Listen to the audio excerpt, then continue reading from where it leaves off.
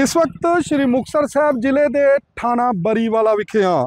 ਥਾਣਾ ਬਰੀਵਾਲਾ ਅਧੀਨ ਪੈਂਦੇ ਪਿੰਡ ਮਰਾੜ ਕਲਾਂ ਤੋਂ ਖਾਰੇ ਨੂੰ ਜਾਂਦੀ ਇੱਕ ਰੋਡ ਦੇ ਉੱਤੇ ਅੱਜ ਸਵੇਰੇ ਇੱਕ ਵਾਰਦਾਤ ਹੁੰਦੀ ਹੈ ਜਿਸ ਵਿੱਚ ਇੱਕ ਸ਼ਖਸ ਦੀ ਜਿਹੜੀ ਆ, ਉਹ ਮੌਤ ਹੁੰਦੀ ਆ। ਦੱਸਦੀ ਹੈ ਕਿ ਪਿਓ ਪੁੱਤ ਦੋਵੇਂ ਜੋ ਪਿੰਡ ਬਾਜਾ ਮਰਾੜ ਨਾਲ ਸੰਬੰਧਿਤ ਸਨ, ਦਵਾਈ ਦੇਣ ਦੇ ਲਈ ਜਾ ਰਹੇ ਸਨ ਤੇ ਕਿ ਇਸ ਦੌਰਾਨ ਜਿਹੜੀ ਆ ਵਾਰਦਾਤ ਹੁੰਦੀ ਹੈ ਦੱਸਿਆ ਜਾ ਰਿਹਾ ਕਿ ਲੁੱਟਖੋ ਦੀ ਨੀਅਤ ਦੇ ਨਾਲ ਇਹ ਵਾਰਦਾਤ ਜਿਹੜੀ ਆ, ਉਹ ਕੀਤੀ ਜਾਂਦੀ ਆ ਔਰ ਜੋ ਉੱਥੋਂ ਦੇ ਲੋਕ ਦੱਸਦੇ ਨੇ ਜਾਂ ਜੋ ਪਰਿਵਾਰਕ ਮੈਂਬਰਾਂ ਦਾ ਕਹਿਣਾ ਫਿਰ ਫਿਲਹਾਲ ਅਸੀਂ ਦੱਸ ਦਈਏ ਕਿ ਕੋਈ ਪਰਿਵਾਰਕ ਮੈਂਬਰ ਜਾਂ ਪੁਲਿਸ ਕਰਮਚਾਰੀ ਜਿਹੜਾ ਉਹ ਇਸ ਮਾਮਲੇ ਦੇ ਵਿੱਚ ਅਜੇ ਅੱਗੇ ਆ ਕੇ ਬਿਆਨ ਨਹੀਂ ਦੇ ਰਿਹਾ, ਪਰ ਦੱਸ ਦਈਏ ਕਿ ਉਦੋਂ ਇਹ ਕਿਹਾ ਜਾ ਰਿਹਾ ਕਿ ਸ਼ਾਇਦ ਇਹ ਲੁੱਟ ਖੋਹ ਦੀ ਘਟਨਾ ਹੈ, ਪਰ ਹੁਣ ਦੱਸ ਦਈਏ ਕਿ ਜਿੱਥੇ ਲੁੱਟ ਖੋਹ ਦੇ ਐਂਗਲ ਤੋਂ ਇਸ ਸਾਰੀ ਵਾਰਦਾਤ ਨੂੰ ਟਰੇਸ ਕੀਤਾ ਜਾ ਰਿਹਾ, ਉੱਥੇ ਹੋਰ ਵੱਖ-ਵੱਖ ਐਂਗਲਾਂ ਤੋਂ ਪੁਲਿਸ ਨੇ ਜਿਹੜੀ ਆ, ਆਪਦੀ ਤਫਤੀਸ਼ ਸ਼ੁਰੂ ਕਰ ਦਿੱਤੀ ਆ। ਫਿਲਹਾਲ ਅਸੀਂ ਕਹਿ ਦਈਏ ਕਿ ਵੀ ਪੁਲਿਸ ਅਧਿਕਾਰੀ ਦਾ ਕਿਸੇ ਦਾ ਇਸ ਮਾਮਲੇ ਦੇ ਵਿੱਚ ਬਿਆਨ ਨਹੀਂ ਆਇਆ ਕਿ ਆਖਰ ਘਟਨਾ ਕੀ ਹੋਈ ਸੀ, ਕਿਸ ਤਰ੍ਹਾਂ ਹੋਈ ਔਰ ਕਿਵੇਂ ਜਿਹੜਾ ਲਖਵੀਰ ਸਿੰਘ ਨਾਮ ਦਾ ਸ਼ਖਸ ਜੋ ਆਪਣੇ ਬੇਟੇ ਪਿਆਰਜੀਤ ਸਿੰਘ ਨਾਲ ਜਾ ਰਿਹਾ ਸੀ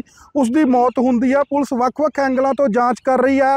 ਆਸੇ-ਪਾਸੇ ਦੇ ਕਿਉਂਕਿ ਉਹ ਲਿੰਕ ਰੋਡ ਸੀ ਤਾਂ ਮੇਨ ਰੋਡ ਤੇ ਅੱਗੇ ਜਾ ਕੇ ਮੁਕਤਸਰ ਕੋਟਪੁਰਾ ਰੋਡ ਦੇ ਸੀਸੀਟੀਵੀ ਖੰਗਾਲੇ ਜਾ ਰਹੇ ਨੇ।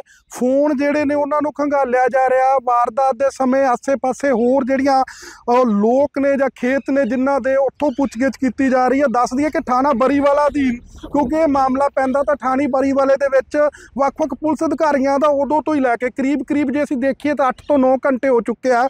ਲਗਾਤਾਰ ਆਉਣਾ ਜਾਣਾ ਸ਼ੁਰੂ ਹੈ। ਮੌਕੇ ਦਾ ਕੋਈ ਜੇਕਰ ਅਸੀਂ ਕਹੀਏ ਗਵਾਹ ਉਸ ਸਮੇਂ, ਤਾਂ ਉਹ ਸਿਰਫ ਪਿਆਰਜੀਤ ਜੋ ਆਪਣੇ ਬੇ- ਜਿਹੜੇ ਪਿਤਾ ਦੇ ਨਾਲ ਸੀ, ਉਸ ਤੋਂ ਇਲਾਵਾ ਕੋਈ ਨਹੀਂ, ਸੋ ਪੁੱਛਗਿੱਛ ਜਿਹੜੀ ਆ ਉਹ ਲਗਾਤਾਰ ਜਾਰੀ ਆ। ਵੱਖ-ਵੱਖ ਐਂਗਲ ਜਿਹੜੇ ਨੇ ਉਹ ਖੰਗਾਲੇ ਜਾ ਰਹੇ ਨੇ। ਆਖਰ ਕੀ ਘਟਨਾ ਦਾ ਕਾਰਨ ਨਿਕਲਦਾ ਹੈ, ਕੀ ਐਂਗਲ ਨਿਕਲਦਾ ਹੈ, ਕਿਵੇਂ ਇਹ ਘਟਨਾ ਵਾਪਰੀ? ਉਮੀਦ ਹੈ ਕਿ ਅੱਜ ਸ਼ਾਮ ਤੱਕ ਪੁਲਿਸ ਜਿਹੜੀ ਹੈ ਇਸ ਮਾਮਲੇ ਦੇ ਵਿੱਚ ਜਿਹੜੀ ਆ ਉਹ ਖੁਲਾਸੇ ਕਰ ਸਕਦੀ ਹੈ ਪਰ ਫਿਲਹਾਲ ਨਾ ਤਾਂ ਪਰਿਵਾਰਕ ਮੈਂਬਰ ਇਸ ਮਾਮਲੇ ਦੇ ਵਿੱਚ ਕੁਝ ਕਹਿਣ ਨੂੰ ਤਿਆਰ ਨੇ ਤੇ ਨਾ ਹੀ ਪੁਲਿਸ ਵੱਲੋਂ ਅਜੇ ਕੁਝ ਕਿਹਾ ਜਾ ਰਿਹਾ ਹੈ। ਨਿਊਜ਼ 18 ਲਈ ਕੁਲਦੀਪ ਸਿੰਘ ਰਿਨੀ ਥਾਣਾ ਬਰੀਵਾਲਾ, ਸ਼੍ਰੀ ਮੁਕਤਸਰ ਸਾਹਿਬ।